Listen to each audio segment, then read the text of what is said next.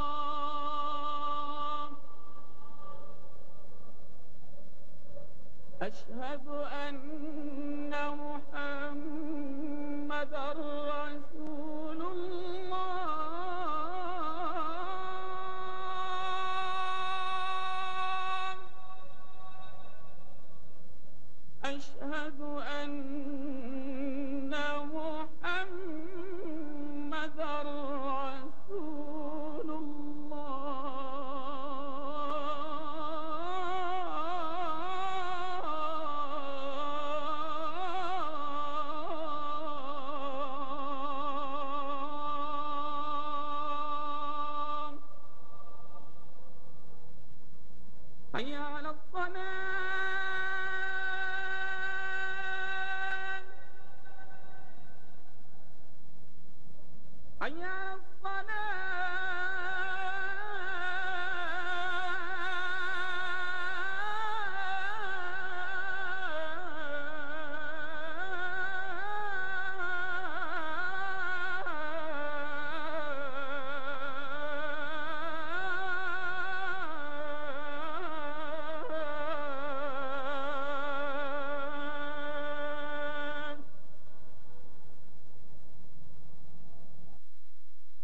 أخرج الإمام مسلم في صحيحه من حديث حذيفة بن أسيد الغفاري رضي الله عنه قال اطلع علينا رسول الله صلى الله عليه وسلم ونحن نتذاكر فقال ما تذاكرون؟ قالوا نذاكر الساعة يا رسول الله فقال صلى الله عليه وسلم إنها لن تقوم حتى ترون قبلها عشر آيات A companion of the Prophet sallallahu alaihi wa alihi wasallam narrates uh, a story uh, and Imam Muslim rahimahullah compiled that story in his Sahih where he said radiyallahu an the companion's name is Hudayfah ibn Asid al-Ghifari we were sitting with the companions and we were studying something of the religion when the prophet sallallahu alaihi wasallam appeared to us by all the sudden he approached us suddenly and he asked us this question ما تذاكرون what are you studying they said نذاكر الساعة يا رسول الله we are talking about the hour, O Messenger of Allah.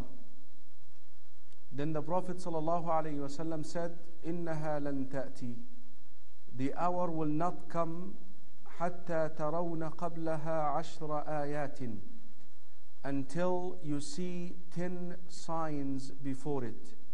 Then the Prophet ﷺ said, الدخان, the smoke, الدجال, the Antichrist, الدابة, the beast, وطلوع الشمس من مغربها, and the sun rising from the west, ونزول عيسى بن ونزول عيسى بن مريم, and the descendants of Isa, the son of Maryam, sallallahu alayhi wasallam, ويأجوج ومأجوج, and Gog and Magog, وثلاث خسوف, and three landslides, خسف بالمشرق, a landslide in the east, وخسف بالمغرب, and a landslide in the west, وخسف بجزيرة العرب, and a landslide in the Arabia, in the peninsula. وآخر ذلك, and the last of all of this, نار تخرج من اليمن, a fire that will erupt in Yemen وفي رواية في قعر عدن in the middle of عدن تطرد الناس إلى محشرهم This fire will drive people to the place of gathering هذا باتفاق It is the consensus that the ten signs that the Prophet sallallahu alaihi wasallam named in this hadith are the major signs of the day of resurrection. And from the last lecture, if you recall, we stressed the fact that the scholars of this ummah, the experts, have compiled the text, the Quran, and the sound sunnah of the Prophet wasallam regarding the hour, and they have categorized it into two categories, and some of them into three categories. The two categories, major and minor. The three categories, signs that happened and finished, signs that happened and are still happening, and signs that did not happen yet. And we mentioned also that the overwhelming majority of the minor signs that the Prophet ﷺ named in so many hadith have already emerged. Only few of them are not here yet. Top of the list is Imam Muhammad ibn Abdullah al-Mahdi. We could say alayhi salam al-Alawi, al-Hasani, al-Fatimi, and Ahl Sunnah. And also the Euphrates disclosing a treasure or a mountain of gold that the people will fight over. These are some of the minor signs that did not happen. But in any rate, uh, the major sign that deals with the Imam al-Mahdi, a lot of the scholars actually of the Ummah given it a special name. They called it the transitional sign. The transitional sign. Why? Because it will basically move this world from the minor sign to the major signs. Because Imam al-Mahdi has a relationship with the second coming of Isa alayhi salam and has a relationship also in a way his uh, presence in earth has a relationship with the antichrist as we will explain tonight bi'idhnillahi ta'ala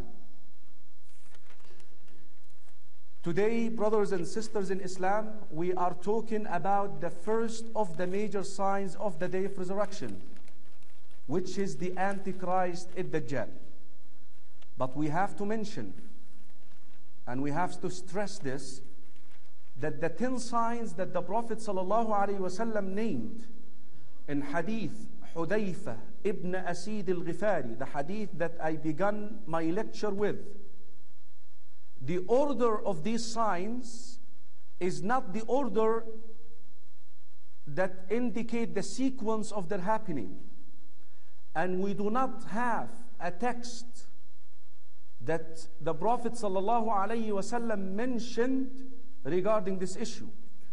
There is no single text in the sound sunnah of the Prophet ﷺ that indicates the sequence of these signs.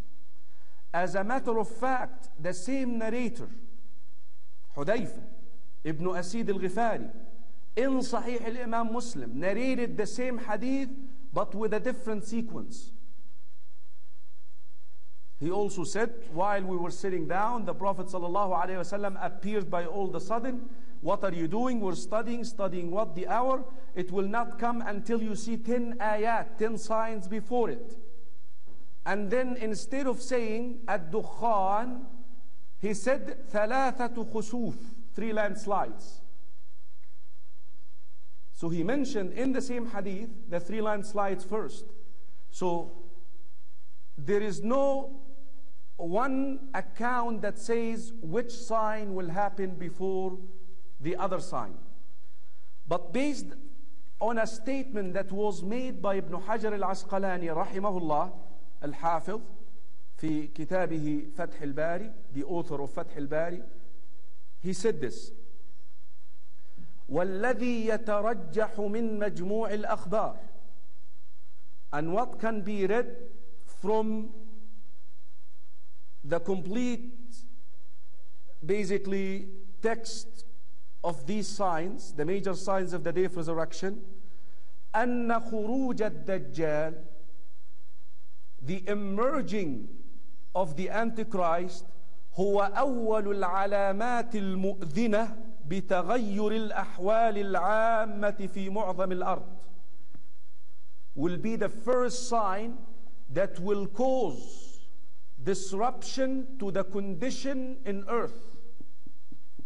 وينتهي ذلك and this will end بموت عيسى بن مريم بنزول عيسى بن مريم وموته with the descending of Isa and his death basically he's referring to this الدجال will lead to Isa will lead to Ya'juj and Ma'juj and then the death of Isa because also Rasul sallallahu alayhi wasallam mentioned something so special about the major signs of the day of resurrection والحديث في مستدرك الحاكم ومسند الإمام من حديث عبد الله بن عمرو بن العاص رضي الله عنهما قال صلى الله عليه وسلم the Prophet صلى الله عليه وسلم says الأمارات خرزات منظومات في سلك The major signs of the day of resurrection are like, are like beads that are in a string.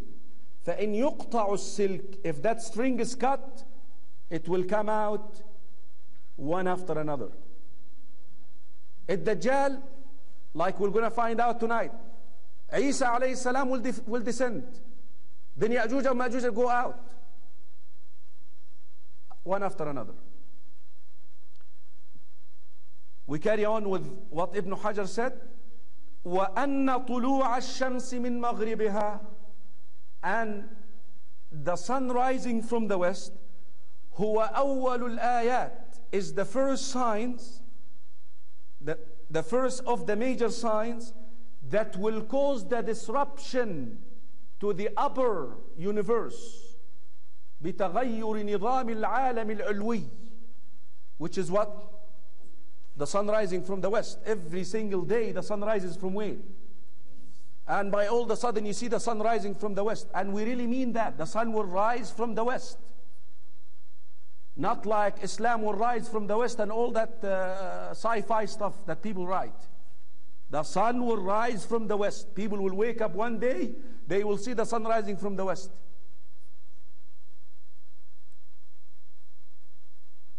وينتهي ذلك بالساعة and this will finish with the hour ولعل and it may be خروج الدابة the beast coming will happen in the same day when the sun rise from the west Based on the view of Ibn Hajar al-Asqalani we're going to study today the first sign of the day of resurrection, the first major sign of the day of resurrection, which is what?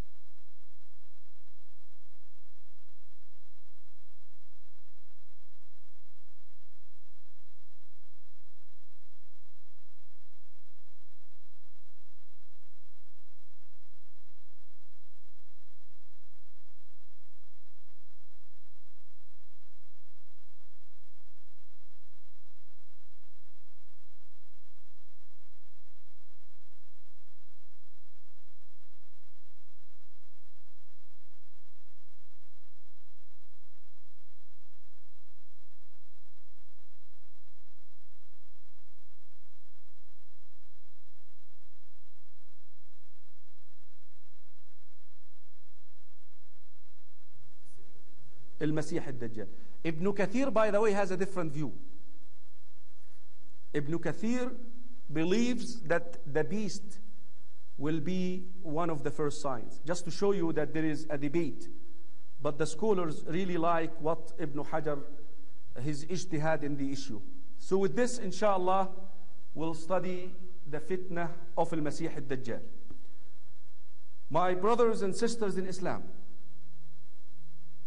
tonight you may be hearing about something similar to Harry Potter. Harry Potter something like that. Superman. Spider-Man. Pokemon. Batman. But this is real stuff sci-fi this is real stuff real real stuff that will happen that I tell you يعني the overwhelming majority of the Muslims are not aware of it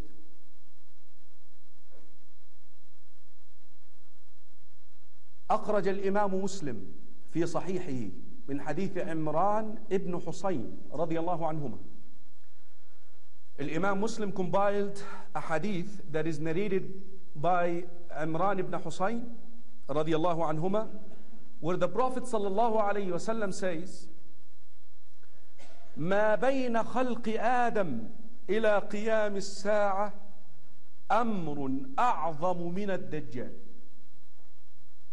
from the creation of Adam until the day of resurrection there is nothing nothing greater than the fitna of the Dajjal. The, greater than the test the tribulation the trial of the Dajjal. The greatest trial that humanity will ever will ever face. The fitna of al-Masih al-Dajjal.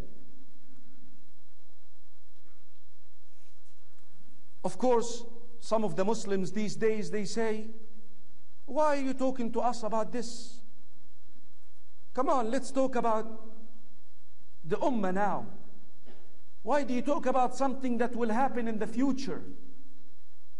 What do we need this for? You don't have another topic to speak about but this? Why do you scare the people? Look at the Ummah. An Ummah is going through. We say, based on what I just said, regarding what kind of fitna, what kind of a trial, or what kind of a tribulation that the Ummah is experiencing now, the Prophet ﷺ is telling you that the fitna of a Dajjal is greater. If you compare what you're going through now with that fitna is nothing.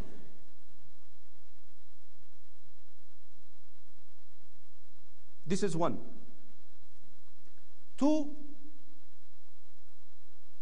the Prophet ﷺ actually did not count himself out of it. I tell you, if you talk about the Dajjal now to Muslims, 99 will say is not going to happen in our time. This is no. This is not going to happen in our time. But I want you to listen to this. Al-Hadith fi Sunan ibn Majah. And I'm sorry, I'm going to insist tonight in, in, in quoting the Sanad and everything because this is unseen. All of this is unseen, something that will happen in the future. And no one can speak about the future without an evidence. Okay? So I'm going to insist on, on, on quoting the Sanad and, and everything, the, the, the, the reference. So this way I, I free myself because the person who narrates the hadith could be one of the liars if he's unsure about the authenticity of the text. في سنن ابن ماجه ومستدرك الحاكم من حديث أبي أمامة الباهلي رضي الله عنه The Prophet صلى الله عليه وسلم says إنه very similar to what Imran narrated في صحيح مسلم He said this إنه لم تكن فتنة منذ ذرأ الله ذرية آدم من أعظم من فتنة الدجال There is no other fitna since Allah subhanahu wa ta'ala placed Adam and his offspring in earth to the day of resurrection greater than the trial of الدجال وإنه لم يبعث الله نبيا إلا حذر أمته منه and Allah subhanahu wa ta'ala never sent a messenger a prophet before me but warned his qawm, his people regarding that fitna, that trial, that tribulation. And in one of the wording of this hadith, the Prophet sallallahu alaihi wasallam samma Nuha. He actually said, "And Nuh." You know how, how long between us and Nuh عليه السلام? نوح هذا أبو ال- ال- ال- البشر الثاني, the second father of, of humanity, because uh, the people drowned, and he had only his offspring. That's it. يعني a long time. Nuh warned his people about the Dajjal. Look what the Prophet said. وأنا آخر الأنبياء and I'm the final of the prophets. وأنتم آخر الأمم and you are the last of the nations. وهو خارج فيكم لا محالة and he will emerge no doubt amongst you. Listen to this. فإن يخرج وأنا بين ظهرانيكم فأنا حجيج كل كل مسلم صلى الله عليه وسلم. If he emerges while I'm still amongst you, you see that? Rasul Sallam is telling you what? He could what? He could um, emerge. Huh? Muslims now, you talk to them about the Dajjal. What is Dajjal? Come on. He says to his ummah, if he emerges while I'm still amongst you, let me handle him. I'll take ca- care of him for you. وإن يخرج من بعدي and if, if he emerges after me فكل امرئ حجيج نفسه every person will be in charge for himself والله خليفتي على كل مسلم and I ask Allah subhanahu wa ta'ala to guard every Muslim after me ف uh, uh, don't uh, don't think that you're away from it يعني سبحان الله ال- الصحابة the companions uh, there was a, a, a person actually in Medina his name is Saf or Safi ibn Sayyad Rasul sallallahu alaihi wasallam described Dajjal to the companions his description fit that little boy so they thought that Dajjal is Ibn Sayyad Ibn Sayyad is Dajjal but يعني we're going to explain later that he is a Dajjal, but not the Dajjal. He is one of those people, but he is not the Dajjal. The companions themselves says uh, حديث النواس بن سمعان في صحيح مسلم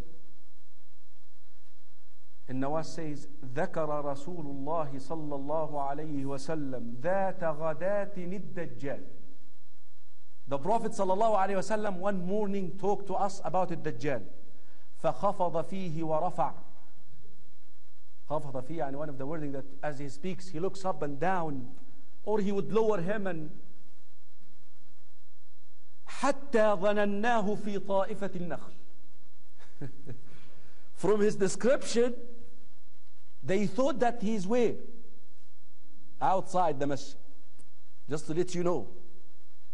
ده- ده- هذا هو التفاعل مع آيات الله.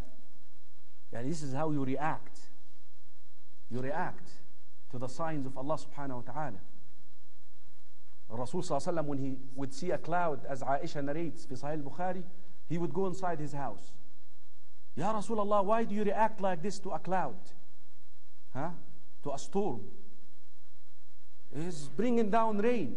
قال وما يدريك يا عائشة What do you know of عائشة? What do you know of عائشة? Huh? The people of ال- الأحقاف The people of Hud فلما رأوه عارضا مستقبل أوديتهم قالوا هذا عارض ممطرنا They looked at the clouds Oh this is bringing rain No بل هو ما استعجلتم به ريح فيها عذاب أليم For a person when, when, when the signs of Allah sign like this is narrated to you You're supposed to show concern.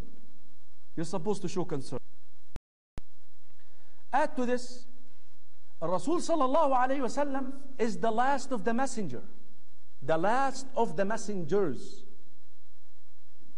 So he has a responsibility to give a greater explicit crystal clear definition of that trial for humanity you see in the book of Daniel, in the Old Testament, in the book of John, in the New Testament, they talk about the Antichrist, but very, very vague, not clear, to the extent that they think it's a phenomenon. Yani they tell you that it's the Western civilization. No, actually, we're talking about a person, a man, a person, a person. For Rasul had the responsibility of explaining in greater details about this fitna to humanity in order to spare themselves from it and in order not to fall into the traps of this man. Add to this, this fitna you must prepare for it before it happens.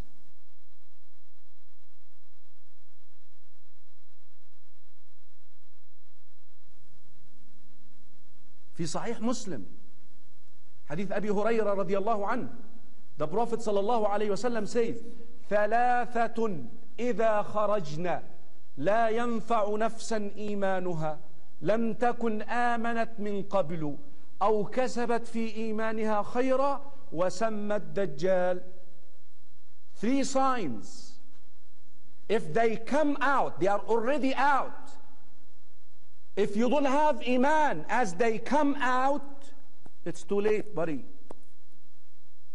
It's not going to help you. So you must develop Iman before it.